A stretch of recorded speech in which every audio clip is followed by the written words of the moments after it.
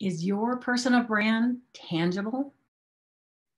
You might be thinking, tangible? What do you mean?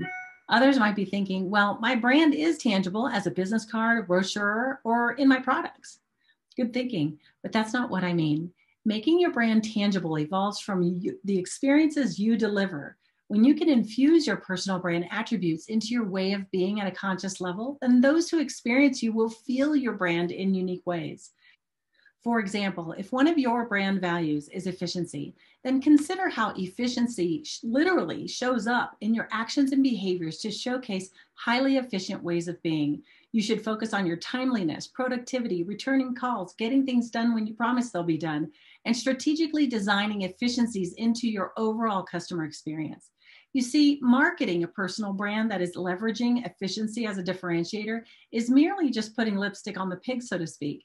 And until you consciously, strategically, and deliberately infuse that attribute into your customary way of being, you cannot consistently deliver on that promise and instill trust in your markets. I'm Suzanne Tulien, brand clarity expert. Thanks for watching 90 Seconds to Personal Brand Clarity.